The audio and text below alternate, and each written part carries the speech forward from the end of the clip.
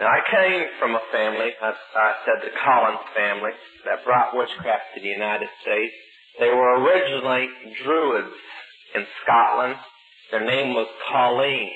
They had to flee Scotland because of being hunted for witchcraft, and they came down to England and pretended to be a Puritan family. One thing I want to point out over and over today is that there are many, just as communists trained KGB agents to come to the United States and infiltrate into political and religious circles, so does the occult world. They have a whole training center, two of them in fact, one in St. Louis and one in St. Paul, that completely trains a witch in how to act and talk like a Christian. And they usually do it better than we do because they're pretending and we're stumbling. So, just going to point this out as we go today. But they went down and they pretended to be Puritans and they came overseas. In fact, they brought the first, first Puritans to the United States on board the ship that Francis Collins owned. They landed at an area called Collins Bay outside of Salem. And it's, in fact, that's why it's called Collins Bay. Now, many of you, how many of you, excuse me, remember a show called Dark Shadows? Okay? You can guess who that was about. When I was a teenager, I was asked to, at all expense paid, fly out to Hollywood with the diary that I had inherited as a child through a will from my great grandmother. And they were the diaries of several members of the Collins family. One of them was a character named France Williams Collins, which was the secretary in a coven that Benjamin Franklin was a high priest of. And the diary dealt great heavily with three political figures, Jefferson, Franklin, and Hamilton, and called them by name in the diary and so on. And this is the man that they copied the character Barnabas Collins from in the show. And uh, I was out there for a few months during my summer vacation one year, telling all about the Collins family as they were putting scripts together.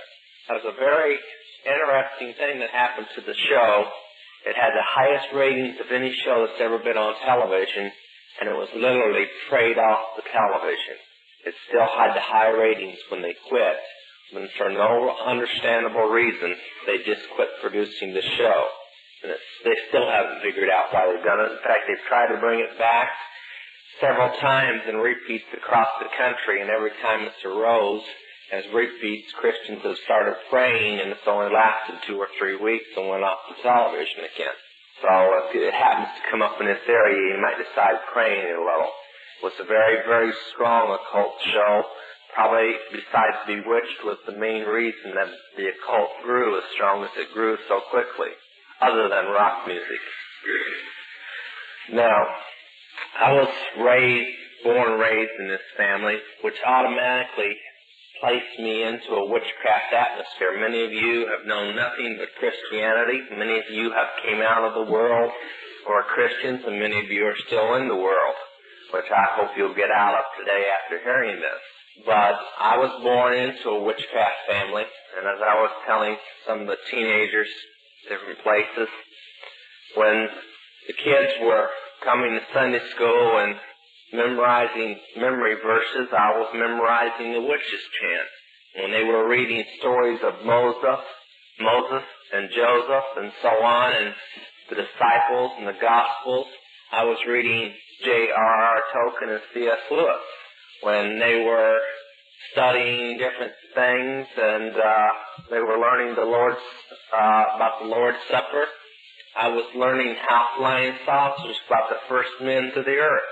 When they were learning about the garden and Adam and Eve, I was learning about Adam and Eve being the sons of God. So it was a little different. And of course, when they were learning how to pray, I was learning how to light candles and incense and cast spells. And I grew up in this atmosphere. Many of the kids had something I never had that I never missed until I became a Christian and realized it really existed. Now I miss it. I never had a childhood. In witchcraft, the parents are not allowed, and even if they could, they wouldn't have the ability to. They're not allowed to love their children. The children are the property of the craft and not of the parents. They are raised by all the witches in the craft, and the parents say nothing. One thing you might be interested to notice, they're never allowed to spank their children. They're never allowed to punish them. From the moment the child is five years old, he's considered an adult, and he's treated like an adult. And therefore you have some very rebellious children. But that's the way they like it. Now, when I was 13, I was taken to a thing called the outer court. the outer court is a school, like you might send your child to Pacific Coast Bible College. Only each coven has their own Bible college, it's called the outer court. And there I was trained to be a priest in witchcraft. And at 14 I was initiated a priest. Now if that seems young for you, you can imagine at 13 or 14, you picture your own child, and that's the way it was. I have a little bit of news for you. My sister progressed even faster than I did. When she was 13, she was the witch queen of the state of Ohio.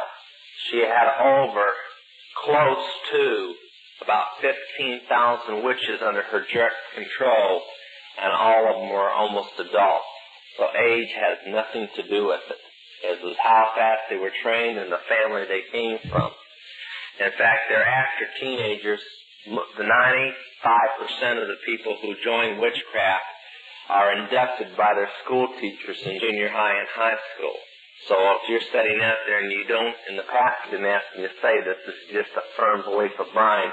If you don't have them in a Christian school, I suggest you get them in a Christian school. Real quick.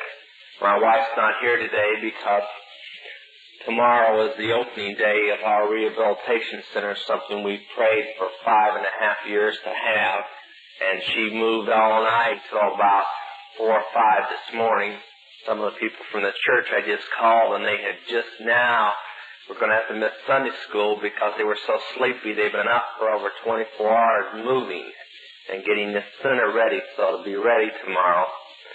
But her testimony is that two people started her in witchcraft. Her pastor and her drama teacher in junior high school. So, uh, that'll give you kind of an idea of what the occult is like. She was inducted when she was a freshman in school. She wasn't born into a family. But when I was raised, you had to be a witch to be in witchcraft, and then it started changing because they wanted the numbers. Now, at 18, I was initiated a high priest. When I was 14 and initiated a priest, that made me draft exempt from military service because all of the brotherhoods of witchcraft and the Satanic Brotherhood of America, which is the Satanist church, are federal recognized churches.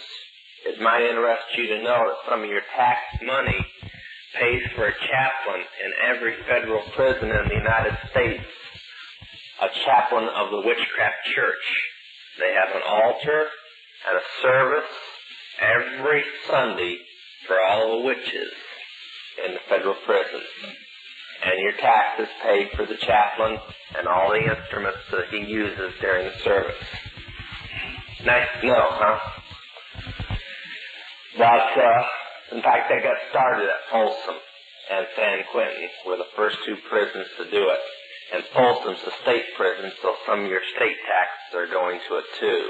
That was Jerry Brown's idea. You might consider that when you vote for him next time. Now, you know, they're not publishing that on the television commercial when they say all he's done, they? Anyway, at 18, I was initiated a high priest, but at 19, I decided that the military needed us. They needed witchcraft. Whether they knew it or not, we were there, the answer to the world's problems.